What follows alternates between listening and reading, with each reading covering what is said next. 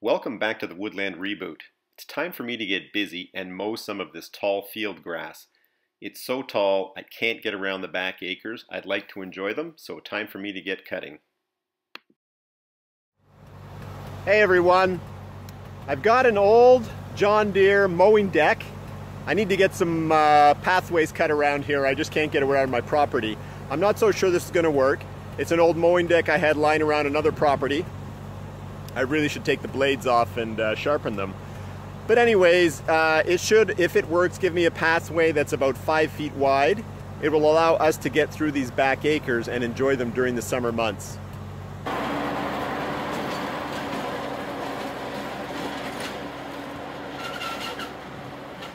I started by mowing some of the grass close to the construction site and around the various log piles. I then moved on into the back acres to create walking paths in the very tall grass.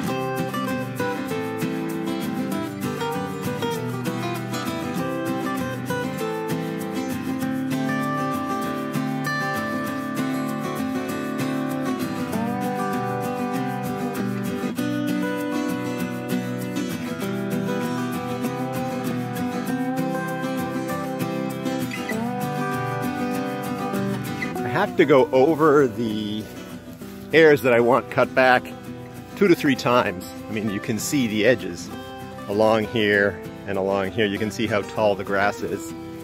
It's just something I didn't get around to because of the time allocation that I have for my projects here. My other work, as well as uh, supporting my kids' activities. So, anyways, you look back through there, it cuts a, a pretty good path, makes it walkable and uh, able uh, allow us to enjoy this uh, these back acres.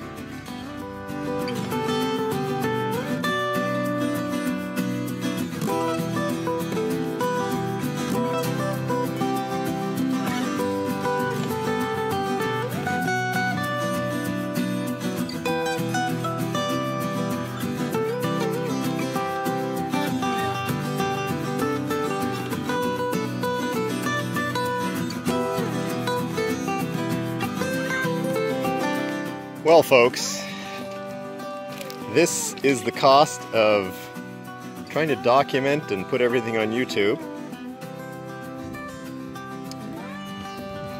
These are the legs and central axis to my camera stand.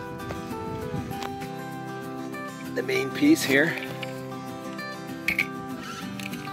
One of the leg components. Another leg component. One of the central pieces, uh, support angle brackets. One of the other leg components. And then finally, here's another one of the little support brackets. That happened. It was in my lap, all tucked up, fell out, and I drove over it with the mowing deck.